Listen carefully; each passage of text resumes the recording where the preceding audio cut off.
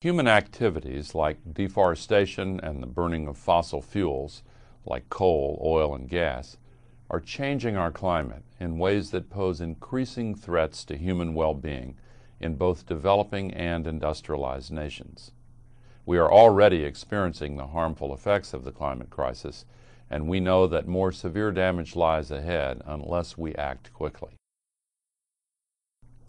The good news is that we can still avoid the most severe impacts of global warming by reducing our emissions of heat-trapping gases and halting and reversing deforestation.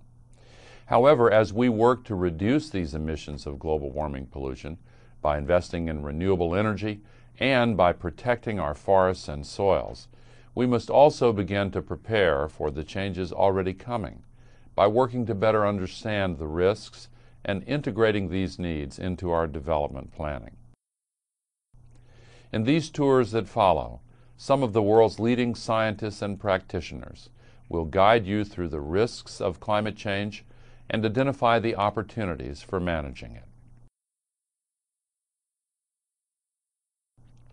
Since the beginning of the Industrial Revolution, when we began to put heat-trapping gases in large volumes into the atmosphere, the global average temperature has risen almost one degree Celsius, and another eight-tenths of a degree is already in store for us because it's in the ocean and will be released into the atmosphere.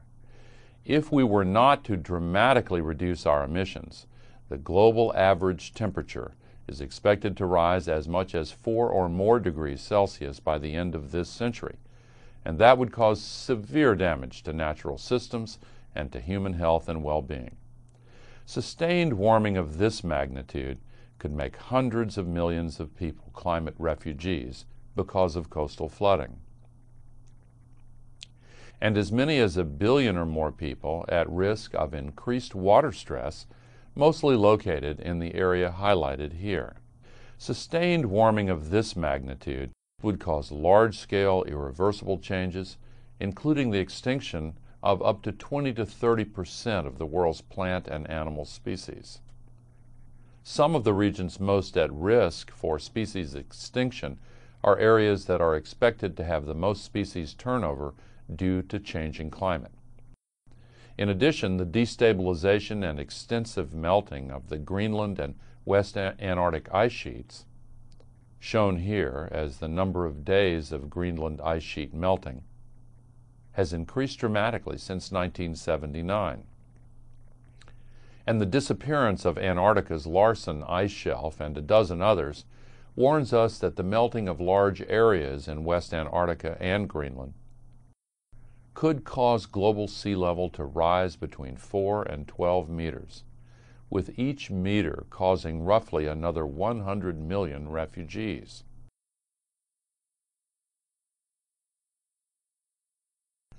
In these tours, you will learn about the rising risks our changing climate poses to all sectors of society, including water supply, food production, and public health. During these tours, you will also learn about the range of available solutions. You will visualize a new world of renewable energy and see what individuals and communities around the world are doing to both reduce their carbon footprint and adapt to their changing climates. At any time during the tours, you can click pause to pause the tour and explore the maps on your own. When you're ready to join the tour again, click play and the tour will start where you left off. If you see this icon during the tours, you can pause the tour and click this icon to learn how that region is working to lessen climate change and adapt to the impacts. Use this tool to get started and learn about the risks of climate change and the opportunities for managing it. Use this tool to get involved and learn from others about how you can make a difference. The climate crisis is one of the most serious challenges facing the world today.